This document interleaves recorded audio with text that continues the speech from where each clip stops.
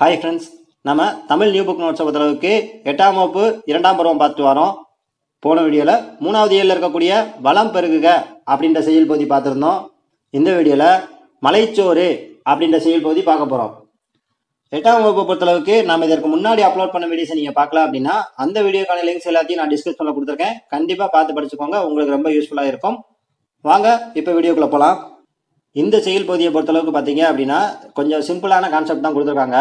அதாவது அந்த காலத்தில் பார்த்தீங்கன்னா ஒரு குறிப்பிட்ட இடத்துல மழை பெய்யவே இல்லை அப்படின்னா அந்த இடத்துல வாழக்கூடிய மக்கள் வந்து மழை பெய்ய வைக்கிறதுக்காக என்ன மாதிரியெல்லாம் வழிபாடு செய்வாங்க அப்படின்றது தான் இதில் கொடுத்துருக்காங்க.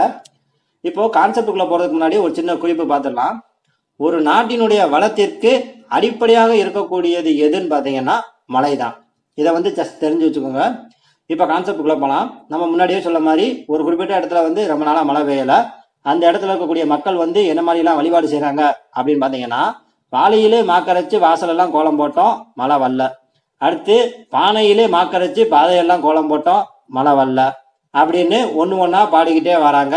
இந்த மாதிரி பாடிக்கிட்டேவும் மூணுலேருந்து அஞ்சு நாள் வரைக்கும் வழிபாடு செய்கிறாங்க இந்த மாதிரி மூணுலேருந்து அஞ்சு நாள் வரைக்கும் பாடிக்கிட்டே வழிபாடு செஞ்சும் மழை வராததுனால அடுத்த கட்டமாக என்ன செய்கிறாங்க அப்படின்னு பார்த்தீங்கன்னா தங்களுடைய உற்றார் உறவினர்களை வந்து கூட்டிக்கிட்டு வனவாசம் போயிடலாம் அப்படின்னு வனவாசத்தை நோக்கி கிளம்புறாங்க. இப்படி கிளம்புற சமயத்துல வந்து மழை பெய்யுது அப்படின்ற மாதிரி சொல்லியிருக்காங்க. அதாவது மக்கள் வந்து இவ்வளவு துன்பப்படுறாங்களே அப்படின்னு வானமே மனசிறங்கி மழை பெய்யறதா இதுல வந்து கொடுத்துருக்காங்க. ஓகேங்களா? இந்த கான்செப்ட் வந்து உங்களுக்கு சிம்பிளா புரியும்னு நான் நம்புறேன். இப்போ நம்ம ஒரு கான்செப்ட் பார்த்தோம் இல்லையா? அந்த கான்செப்டுக்கு பர்டிகுலரா என்ன பெயர் சொல்றாங்க அப்படின்னு பாத்தீங்கன்னா மலைச்சோற்று நோன்பு அப்படின்னு சொல்றாங்க. இந்த மலைச்சோற்று நோன்பு அப்படின்றதுக்கு எக்ஸாக்ட் மீனிங் என்னன்னு பாத்தீங்கன்னா ஒரு குறிப்பிட்ட இடத்துல மழை வந்து ரொம்ப நாளா பெய்யாம ஊர்ல பஞ்சம் வந்துருச்சு அப்படின்னா அந்த ஊர்ல இருக்கக்கூடிய மக்கள் என்ன செய்வாங்கன்னா ஒவ்வொரு வீடா போய் உப்பில்லா சோறை ஒரு பானையில வாங்குவாங்க. அப்படி வாங்கப்பட்ட உப்பில்லா சோறை வந்து ஊர்ல இருக்கக்கூடிய ஒரு பொதுவான இடத்துல வச்சு எல்லா மக்களும் பகிர்ந்து சாப்பிடுவாங்க. இந்த மாதிரி இந்த ஊர்ல வந்து மழை பெய்யாம பஞ்சம் ஏற்பட்டதுனால மக்கள் வந்து இந்த மாதிரி ஒரு கொடுமையை அனுபவிக்கிறாங்க அப்படின்றத பார்த்து வானமே மனமிறங்கி மழை பெய்யும் அப்படின்றது வந்து அந்த பகுதியில் இருக்கக்கூடிய மக்களோட நம்பிக்கை. இதைத்தான் மலைச்சோற்று நோன்பு அப்படின்னு சொல்ல வராங்க. அதுக்கப்புறமா பார்த்தீங்கன்னா இந்த செய்யுள் பகுதி வந்து இடம்பெற்ற நூலை பத்தி பார்க்க போறோம். பழந்தமிழர் வழிபாட்டு மரபுகள் அப்படின்றது வந்து ஒரு குறிப்பிட்ட நூல். இந்த நூல்ல வந்து பாத்தீங்க அப்படின்னா கொங்கு நாட்டு மலைச்சோற்று வழிபாடு அப்படின்ற ஒரு கட்டுரை இருக்கு.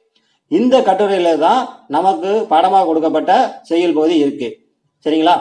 இந்த நூலை பதிப்பித்தவங்க யாருன்னு பாத்தீங்கன்னா ஆ. கௌரன் அவர்கள். இந்த பாயிண்ட் வந்து ரொம்ப ரொம்ப முக்கியமானது. ஓகேங்களா? இதை வந்து தெரிஞ்சு வச்சுக்கோங்க. ரொம்ப ரொம்ப முக்கியமானது. அதுக்கப்புறமா இதுல இருக்கக்கூடிய ஒன்று பார்க்க போறோம். கனத்த மலை அப்படின்ற சொல்லுக்கான பொருள் என்னன்னு பாத்தீங்கன்னா பெருமலை. அடுத்து வாசல் எல்லாம் அப்படின்ற சொல்ல பிரித்து எழுதணும் அப்படின்னா வாசல் கூட்டல் எல்லாம் அப்படின்னு பிரியும். அதுக்கு அடுத்ததா பெற்றெடுத்தோம் அப்படின்ற சொல்ல வந்து பிரித்து எழுதணும் அப்படின்னா பெற்று கூட்டல் எடுத்தோம் அப்படின்னு பிரியும். அதுக்கப்புறமா கால் கூட்டல் இறங்கி அப்படின்ற சொற்களை சேர்த்து எழுதணும் அப்படின்னா கால் இறங்கி அப்படின்னு சேரும். இந்த பிரித்தெழுதுக சேர்த்தல பொறுத்தளவுக்கு நமக்கு இலக்கண விதிகளை வச்சு தான் கேள்வி கேட்பாங்க. ஸோ இதில் இருக்கக்கூடிய விதிகளையும் நம்ம தெரிஞ்சுக்கிடணும். இந்த வாசல் கூட்டல் எல்லாம் அப்படின்ற வார்த்தைகளை பொறுத்தளவுக்கு பார்த்தீங்க அப்படின்னா இது வந்து எப்படி வாசல் எல்லாம் அப்படின்னு சேர்ந்துச்சுன்னா உடல் மேல் உயிர் வந்து ஒன்றுவது இயல்பு அப்படின்ற இலக்கண விதிப்படி சேர்ந்திருக்கு.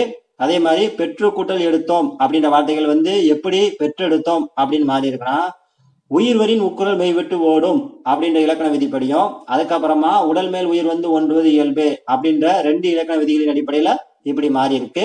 அதுக்கப்புறமா கால் கூட்டல் இறங்கி அப்படின்ற வார்த்தைகள் வந்து எப்படி கால் இறங்கி அப்படின்னு மாறி இருக்குன்னா உடல் மேல் உயிர் வந்து ஒன்றுவது இயல்பு அப்படின்ற இலக்கண விதிப்படி மாறி இருக்கு. இப்ப நம்ம சொன்ன விதிகளை வந்து உங்களுக்கு ஆல்ரெடி தெரிஞ்சிருந்ததுன்னா வெள்ளன் கோட் ஒருவேளை தெரியல அப்படின்னா பக்கத்துல எழுதி வச்சுக்கோங்க.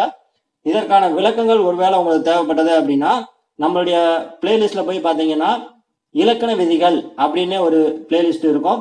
அந்த இதுல போய் பாத்தீங்கன்னா இதற்கான விளக்கங்கள் வந்து நான் தெளிவா கொடுத்துருக்கேன். கண்டிப்பா பாருங்க உங்களுக்கு ரொம்ப யூஸ்ஃபுல்லா இருக்கும்.